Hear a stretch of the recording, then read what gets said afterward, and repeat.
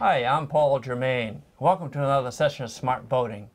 As you know, if you've watched the show before, we cover a wide variety of topics, from man overboard to docking. And the general idea is to provide you with some information that will help you make smarter decisions and have more fun on the water. Today's show is a little different, a little off the beaten path, uh, in an area that I think you're going to find very interesting. And it's the area of model boats. And joining us is a very experienced collector in that area, Fred Clausen. Fred Paul, nice to be with you in the collection room. Thank you very much. Yes, good to see you. Fred, you know this is a really interesting hobby, uh, but before we get into it, can you share a little bit about your boating background and a little bit about when you got involved in the hobby? Sure.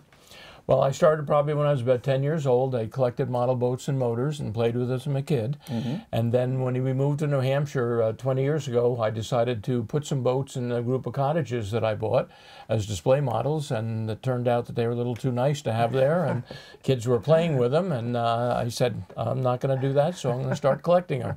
So one thing led to another. Yeah. So you've been, how long have you been collecting? About 25 years now. 25 years, yeah. yeah but yeah. I still have a couple of my outboard motors from when I was a kid that are in the collection behind oh, us. Oh, you do? Yes. okay. So it's a long history here. Yes, a long, very long history. All right. Well, it sounds like you've got just the the raw ingredients to do our show today. So why don't we get started?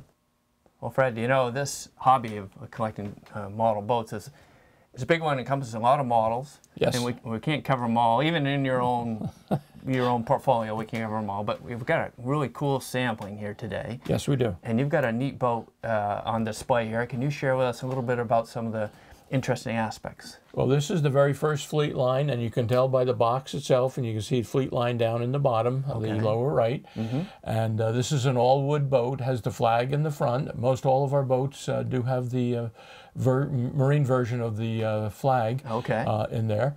And this has uh, no operating lights, but it is a battery-powered boat. Okay, all right. And what year would you say that is roughly? That was probably in the early 50s. Early 50s, yeah. okay. And we've got this boat here is same Fleetline, right? Because we're focusing the show yep. on Fleetline today, which was uh, originally based in uh, Japan. It was made in Japan. It was yeah. K&O Motors, mm -hmm. and they came over to the United States and they uh, did their warehousing in uh, uh, Van Nuys, California, and then they brought the production line over here. Mm -hmm. And what's unique about this boat here? This is the smallest one. This is a nine and a half inch. It's called the uh, Fiesta Queen. Mm -hmm. And what Fleetline did is they took the boxes instead of having pictures of the actual boat. Yeah. They had a generic box with oh, the name on it. Okay. And this one has the operating spotlight in the front, mm -hmm. and it's probably was never in the water. It has some age marks on it, but uh, it's in perfect condition. But yeah. it is again one of the smaller ones. What would they have for an engine in this? For? It's a very small uh, engine. Later on, we're going to show you some of the sample engines on the inside. Yeah. Uh, but it's the small boat gets a small engine. But it is powered. It is right? battery powered, and the battery powered light in the in the front. Okay. Spotlight. All right. Well, that's an interesting. It's a classic old inboard design, isn't yes. it? Yes, yeah. it is. Yeah. That's a nice looking boat. We've got another boat right here. Okay, this is the Sea Lancer, also by Fleetline. This okay. is an all plastic boat. All plastic. The other one was wood, was That it? was all wood, yes. All wood, okay. And as we go through the show, some are plastic, some are wood, and some are mixture. When did they uh, make the transition? They didn't make a total transition, but uh, it was around the uh, 80s when they started bringing in more and more plastic. And oh, first they made okay. the decks wood, which you'll see in a few minutes, and mm -hmm. then uh, they went to all plastic. And this is chronologically out of order, but it is this show we're running on based on the size. So this yes. is one of the small ones. Yeah, so you got some details here. Looks like cowls, fresh air cowls for the engine, and you've got and this is our on and off switch okay. back here. Got an interesting cockpit back here at the stern here. Yes. Yeah. Yeah. Yeah, kind of like a sun pad almost, but yeah. it's recessed. yes. Yeah. Very interesting boat. Again, an inboard design. Yep. And it's a nice picture on the box. Yes, picture of the Sea Lancer on the bo uh, box. And uh, sometimes the boxes are generic and they don't have any pictures at all right. uh, for the different manufacturers. But this is nice that it does have the picture. That is beautiful, yeah. Now we've been looking at some inboard boats here, and this one's an outboard, right? This is an outboard. Yeah. When did these? When did they start producing these? They did these back early in the 50s also. Uh, some were inboard, some were outboard. Okay. Uh, they wanted to cover all the lines. Uh, this is an unusual boat with the long nose in the front. Some Oh, people does, think it's yeah. a race boat. Very long deck, yeah. But this is the Sea Spray. Sea Spray. And the motor on the back is a generic motor. Uh, Fleetline did make some of their own motors, which we'll Mm-hmm. did. see in a little while. Okay. But this is a generic motor. It fits with the size of the boat. Mm-hmm. And the batteries are under that uh, red section uh, under the uh, bow. Okay. And you got a, a cockpit area here in the back, a couple of cleats. And how about the box? The box is uh, uh, original, I guess, That's, right? that's original, well used, but it's again the generic box with just the name on there, no pictures of boats, which is Right. what Fleetline went to to cut production costs and keep it simple. oh, I see. So, Every all the boats had numbers. This is number 651, and probably was about four dollars and ninety eight cents for the boat only when they made it. Oh, that's the motor funny. would have been additional. Some Okay. some of the Fleetlines come with motors in the package, but this particular one did not. It just came with the boat itself. Well, Fred, you know, one of the things I find interesting about this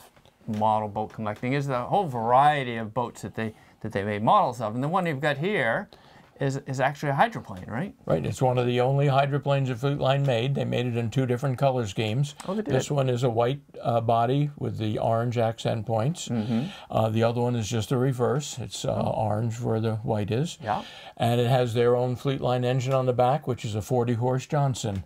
Oh. The batteries, which are, go under the uh, steering wheel uh, hatch cover there. Mm-hmm. And uh, this box, as you can see the picture on the front of it, that's uh, what it looks like, and that's how it was sold. So it's especially important, if at all possible, to have the box with the model, Yes, right? very important. Yeah, Probably adds about 30% of the value, of something like that. I bet that boat would skip right along. Yes, and it only was $3.49 when it sold initially.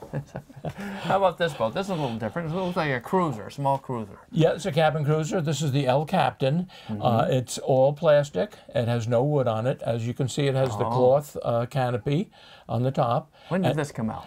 This probably would have been in the um, mid 60s, something like that. Oh, is that right? Uh, A lot of times we don't have exact dates on this Yeah. when they're made, but Yeah. uh, that's that's a good idea. Mm-hmm. And uh, This is one of the early plastic boats. Yes, and Yeah. it has the Fleetline engine on the top, on the back. On the back, It is uh, the blue uh, Oh, yeah. uh, Sea Dart engine Dart. outboard.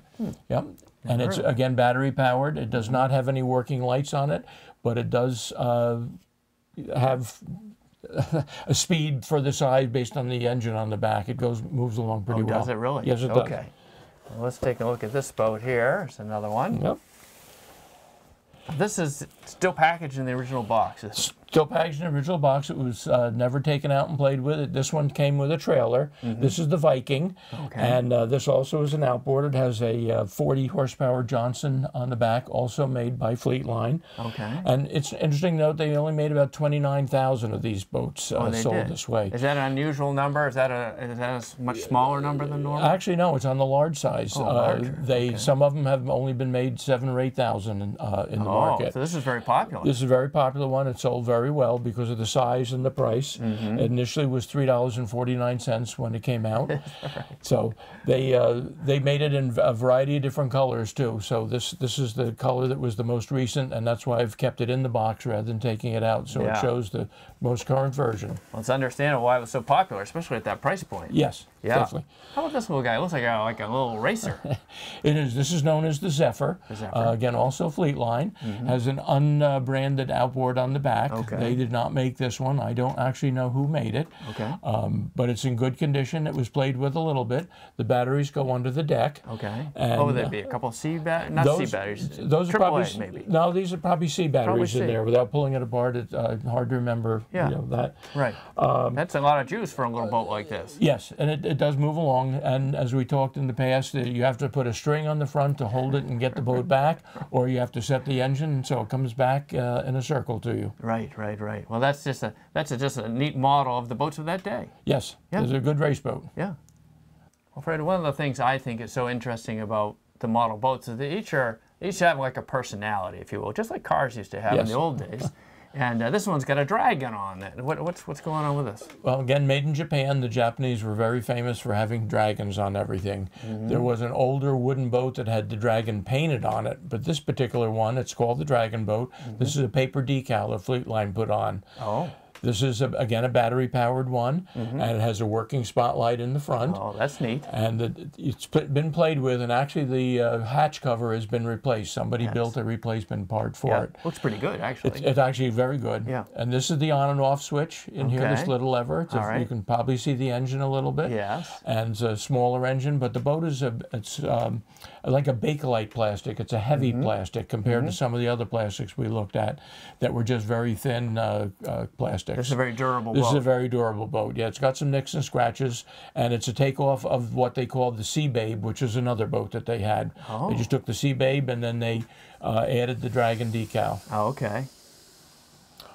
Here's our next one. It says Thunderbolt on it. Looks kind of, it's got that kind of feeling to it. It's got the black and the white. It's a, It's this is made up as a fishing boat. It has been restored by Oh. a friend of mine out in uh, Ohio, Mm-hmm. and it's a very good restoration. It's uh, got fishing poles sitting inside, uh, all wood, Put a new life uh, preserver on the front. Yeah. And this was marketed with the Fleetline Hurricane engine, which is on the back. Yeah. Uh, it was sold as a package, and. Um, the boat itself sold for four dollars and ninety-five cents when it first came out. Oh, did. But it was a very popular boat. They had about twelve thousand that were made in this particular line. it's funny how they call the Hurricane because I think Mercury had a motor called the Hurricane, Hurricane. back in that, that vintage. And it looks very similar to that. And they may have tied it together with the name Thunderbolt. Uh, you never Right. know if, uh, how, Well, they these, used- how they marketed these. They called it the Thunderbolt Ignition on the old Mercury. Oh, Yep, okay. Yep.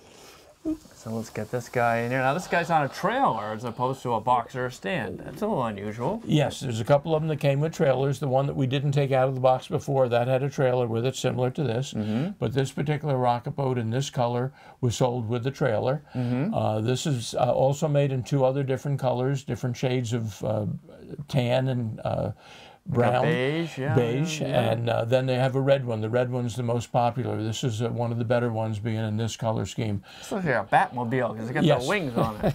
Yeah, my favorite of the wind, uh, the fin boats. Oh, it uh, is? Yes. Yeah. And this one has a working spotlight in the front, and it does have the on and off switch in the back here, and the batteries are housed underneath the uh, uh, beige, the tan uh, cover. And this came as a set. It came as a set. trailer. Yes. Yep. One of the few that came with the trailer. Yeah.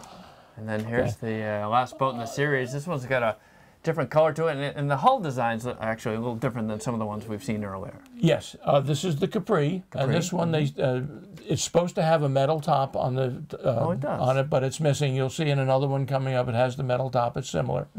Uh, this has the working spotlight. Mm-hmm. Yeah. Uh, light blue color with the uh, white side stripes. Yes. And it's an inboard boat, and this is the on and off switch. Mm-hmm. And as I mentioned, most of our boats have the uh, Marine U.S. flag on the back. All right. There's a double cockpit here. Double cockpit, yeah. Yep. And it's uh, in played with condition. I have not had it restored. It's uh, very hard to find. Uh, this design, Oh, it is. yes, yeah. Oh. There's not they. They didn't not- make many. I'm not sure how many they made. They just don't show up uh, like some of the other ones do. Uh, this is the only one I've ever been able to purchase. Others I have duplicates of, but this one is it's a one of boat. Is a rare bird. Yeah, rare- for me it is a rare bird. Yes. And so condition doesn't matter. I like it as as it is. All the parts are there. Yeah, it's a beauty. Well, Fred, when you go into an area like collecting model boats, particularly vintage boats, you need some resources, and, and, and quite frankly, there are a number of good resources out there to help people with it, right? Here's Yes. an example.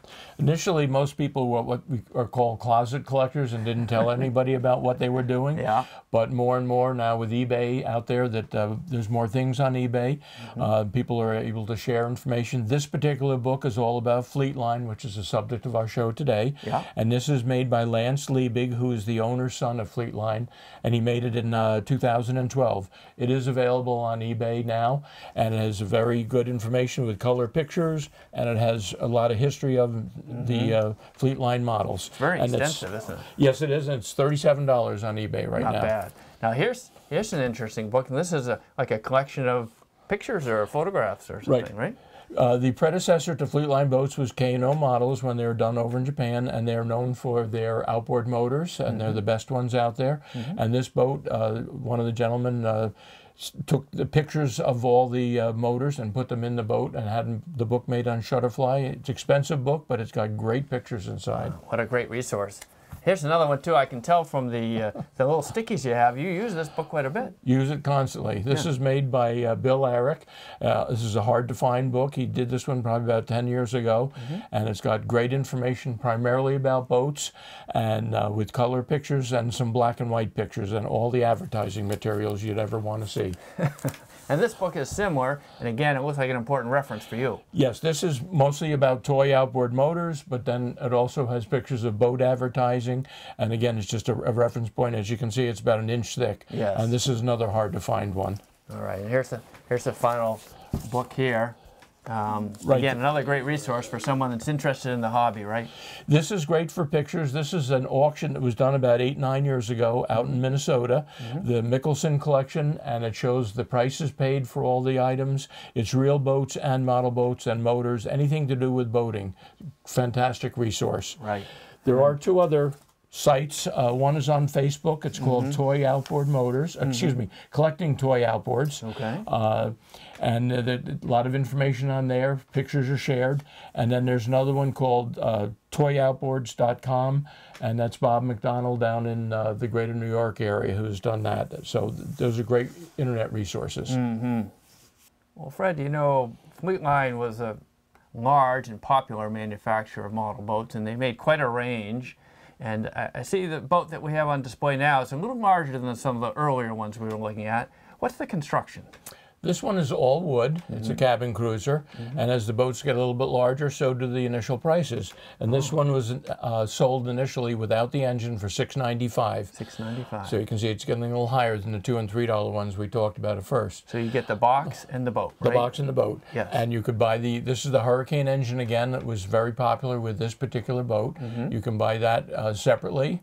And uh, this one has the plunger on and off switch in the front, Okay. uh, which we've seen in previous shows. Again, the cloth, cloth canopy. Yeah. But this is an all wood construction.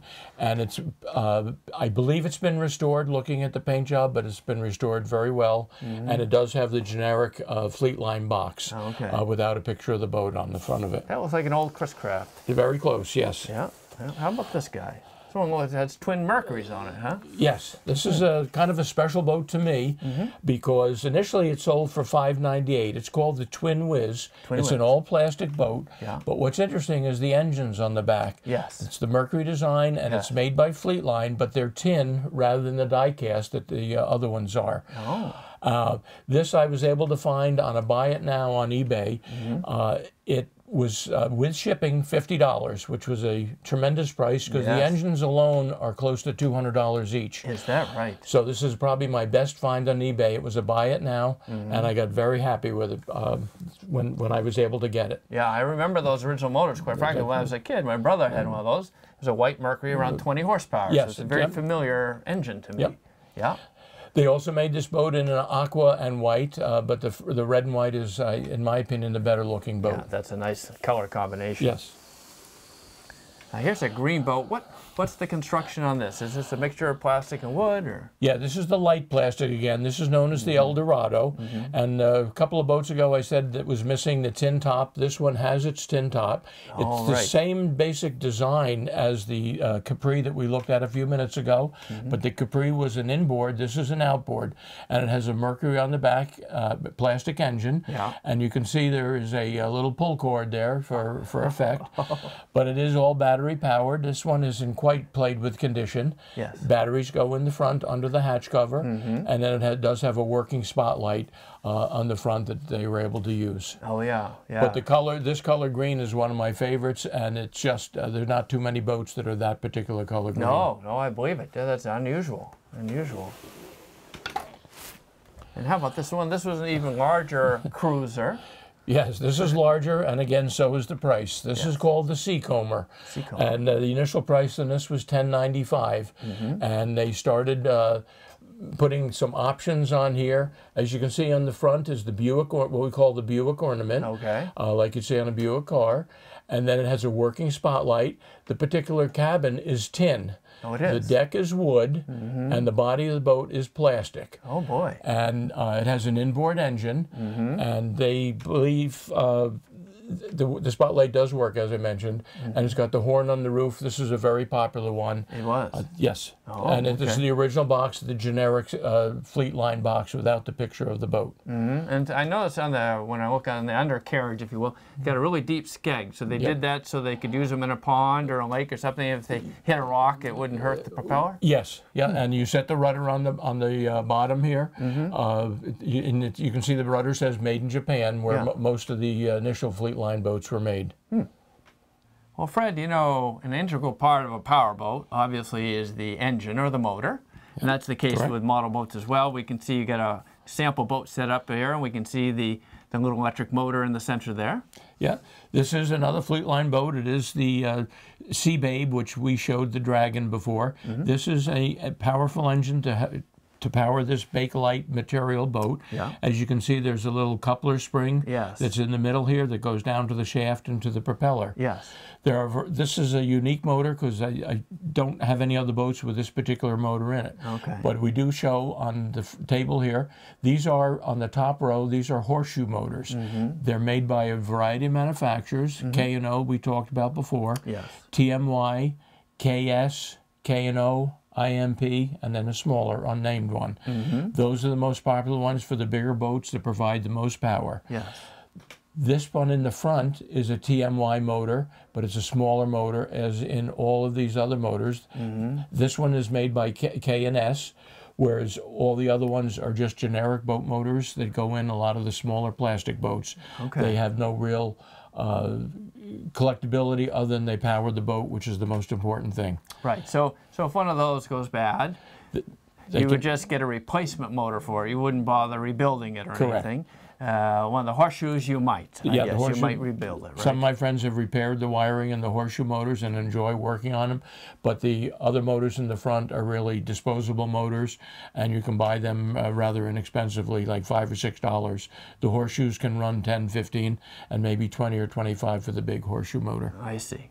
Well, Fred, do you know Fleetline again had an expansive line, and it gets larger and larger. The boats we're talking about here, and had a mixture of materials. This one that we're looking at now, what was the what were the materials used for this one? This one is a plastic hull and a wood deck. But they did have some variety in the colors of the wood deck. They had a light brown deck instead of the dark chocolate brown that we have here. Mm-hmm. And actually, this is the Seawolf, and this is the second version of the Seawolf. There's a smaller version of the Seawolf that they made uh, a few years before this, but this one is a common uh, body design, but the decking is different. It has working spotlights in the front. They happen to be both clear instead of red and green, and it's got our famous uh, flag on the back, the uh, marine flag, Right. and it's in really good condition. It probably was cleaned up by somebody, but uh, not by me. It has been played with a little bit, but it's unusual because it's got a very large windshield uh, on the boat. Yeah. Any idea of the value of something like that these days, Fred? to me, it's probably 100, 120, something like that. Uh, you can find them in worse condition for 60 or 70 dollars. Okay. Shipping gets to be a little expensive because of the weight of the boat and the size of the boat. Oh, okay. Uh, if it goes priority mail, then there's an extra charge for the size of the box. Oh, all right. Speaking of boxes, we've got one here that's still in the box, Yes. which is an unusual thing, right? This is a display box, and this is the way it was set up in the store. This is the Commodore, and it is a plastic hull with a wood deck and a wood cabin. Right. The uh, the antenna on it is a replacement one. It should be a little bit larger. All right. But your camera probably can't see, but the lights in the front are red and green, Mm-hmm. whereas the last one we had was uh, total uh, clear bulbs. Okay. And this is an inboard. Uh, this it's a very nice detail. It's played with condition, Mm-hmm. and um, it uh, though in the back is the switch. You pull it up to turn it on, and Okay. to push it down to turn it off. All right. So it's like some maybe a some uh, 20 footer model of a 20 footer or Uh, something. maybe a somewhere in little bigger, range. 24, 25, 24, yeah, something 25. like that. Yeah. Yeah. All right. Well, that's just a neat boat there right there. And let's take a look at this one here. Now, this is more of our traditional speedboat. Yes. This is the Dolphin, which is the same hull design as the pre, uh, the one two boats ago that we looked at. Okay. Uh, the Seawolf. Yeah. But uh, this is an outboard, and this has a K&O Mercury on the back. It's Mm-hmm. the uh, 1956 Thunderbolt 40 horse which is a very valuable motor. Has a little ding It in the top. Yes. But uh, overall, the boat is in great condition, and it's got the uh, b- uh, bumper on the side, which somebody has added. Okay. And uh, again, cleaned it up. The steering wheel is uh, not working. It just goes around and rotates. rotates, Yeah. but it doesn't control the turn or tilt of the engine. All right. And you can see the logo on the front has the Dolphin logo uh, on both sides. Oh, Those decals right. could That's be right. applied. And I'm looking at the color combination of that engine. A lot of people don't remember, but those the old Mercuries, they Yes. did have a raspberry color scheme to them back in the old days. In the 50s, yes. yeah, yeah, yeah. that's- So they mm-hmm. kept it very accurate. Yes, Well, Fred, here's another unusual boat. This looks like like a cabin cruiser, but outboard powered. And it's funny. I look at the decks, and I remember boats of this era used to have canvas decks. They'd have the wood and the canvas and the paint. So that was very authentic Yes. to the boats of that time. Yep. Well, this, this is called the uh, Fleetline Marlin, Mm-hmm. and uh, it's a 17 inch boat with the engine on it. And it comes in two different colors. This one has the green uh, wa- on, below the waterline, where there's also a blue below the waterline. Mm-hmm. Okay. This is a very popular one. They actually made 32,000 of these Oh boats over God, their career. wow.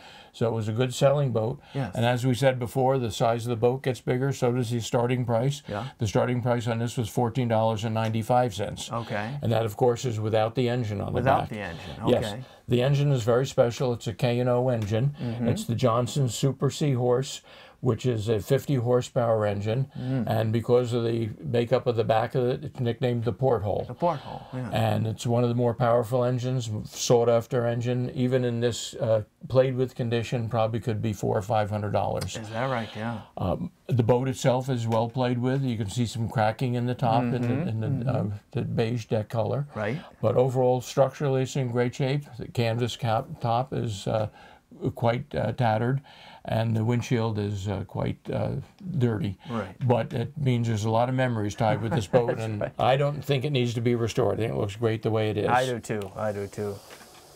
Well, this one's coming in on a trailer here. Yes, Which very is unique kinda trailer. Yeah, I like the color scheme of this boat too. It's got the white and the blue. Looks like an old Century or Chris Craft or something like that. Yep. This is special because it was restored for me by my friend John Guest down in Arkansas. Mm-hmm. He put a lot of time into cleaning it up. He didn't repaint anything. He has Oh, he a way of just buffing the uh, chrome parts and uh, turning them into actually better than they uh, sold initially. Really? And this is another 17 inch boat with the uh, U.S. flag on the back, the Marine one. Mm-hmm. And this has the uh, An old Evinrude, Evinrude on yeah, it, yeah. 59 Evinrude, the uh, 50 horse uh, Lark 450. I remember that motor. And I, I mentioned that this was uh, special because partially trailer. I do have to lift this off just to show the trailer Mm-hmm. because this is a handmade trailer, uh, very expensive, but I had to have one of them to complete the collection. Of course. And I could never afford a second one, but it's just perfect the restored boat and the restored trailer. Yeah. And this one is the unique design as far as the uh, wave on the side. Oh, yeah. And this is called the Vagabond. The Vagabond. Yeah. Okay. And we've got one other one here. This is another little cruiser. It looks like it's made out of plastic. All plastic. This Mm-hmm. is kind of an inexpensive inexpensive version. Okay. Uh, this totally sold for nine ninety eight as a boat itself without the motor. Good value. Uh, yes, and they made twenty four thousand uh, of, of yeah twenty four thousand of these, Mm-hmm. and the motor is unique because when it did work, it had it's called the Mercury Zoom. Yes. But you would put the batteries in and hook it up, and it would be brrrr, it had sound effects to it, which is the only motor. It came in white and it came in black. Okay. And it's the only motor that had those sound effects. But this was a uh, definitely a, a, at the later end of the Fleetline uh, time period, and was definitely a price-driven model, Mm-hmm. uh, being 998 uh, on the market. yeah. Was it very popular? Very popular, yes. Yep. yeah, yeah. And a lot of times you'd find you find them without the windshields and without the horns. Uh, this one's in overall very good condition. Complete, yeah. Yes. Well, Fred, it's hard to believe, but uh, got to wrap up the show. We're out of time. And uh, we've covered a lot of different aspects of the Fleet Line product line, uh, a lot of different boats over the years, different models, different size, different construction. Very, very interesting. Um, is there anything you'd like to add before we wrap up the show today?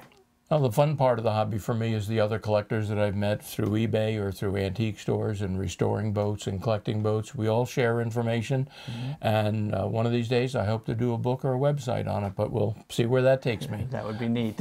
Well, thanks for joining me today. Great, Paul. Thank you very much for coming up. And thank you, Smart Boating viewers, for watching the show. If you have comments or questions, please visit us, visit us on our website, www.smartboatingus.com. Thank you.